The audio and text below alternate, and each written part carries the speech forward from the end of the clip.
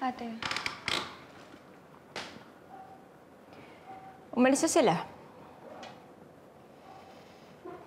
ate, kuya. Pag-usapan natin to. Usapan natin to na mahinahon. Pagod na ako, Sam. Hindi ko na alam paano ko kakausapin yung kuya mo. Saan pakisabi na pinagtatanggol ko lang siya sa pamilya ni Jake?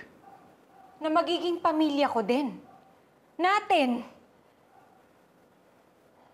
Tapos binastos mo lang ng ganun? Alam mo, kuya, hindi lang ako yung pinahiya mo. Tayo. Etong pamilya na to, pinahiya mo. Ano pinaya? Kuya. Rafi, anong nakakaya doon? Nakakaya ba na pinagtanggol kita? Para hindi ka maging sunod-sunuran sa kanila? Nakakaya ba? Nakakaya ba na ipaglaban ko na huwag nilang maliitin ang pamilya natin? Nakakaya ba yun? Ikaw lang naman yung nag-iisip ng ganyan eh. Okay na kami ni Mama. Nung mama ni Jake, nagkausap na kami ng maayos. Okay na siya. Alam mo kung bakit? Kasi nakinig siya. Binuksan niya yung isip niya. Nakita tuloy ngayon kung sino yung makitid ng utak eh. Uy, kung nahihirapan ka, umalis ka! Ha? Tumira ka doon kala Jake! Nahihirapan ka, di ba? Sige! Oh, talaga? Talaga! Talaga? Umalis ka! Gawin mo kung ano gusto mo! Uy! Ate,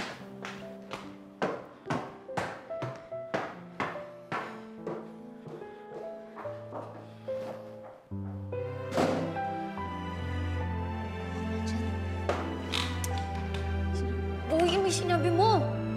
Buuin mo, buuin mo. kuya, ayusin nyo yan, ha? Aayusin natin to.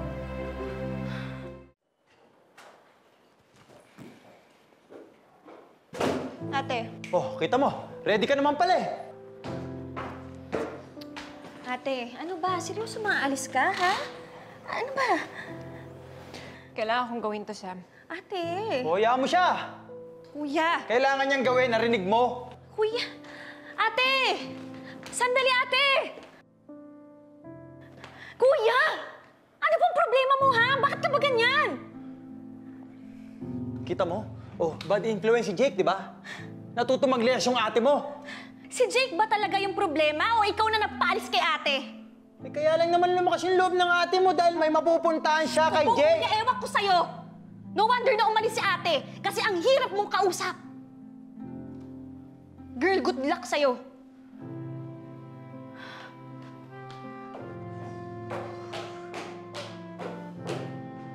So, sinong talo sa inyong tatlo ngayon? Eh, pinaninindigan ko Oo, lang yan naman. nga, pinanindigan mo yung galit mo. Kaya ngayon, pati si Sam galit sa'yo. At yung kapatid mo na ayaw mong ipakasal dun sa lalaki na yon, dun matutulog ngayong gabi. Dun sa lalaki na yun.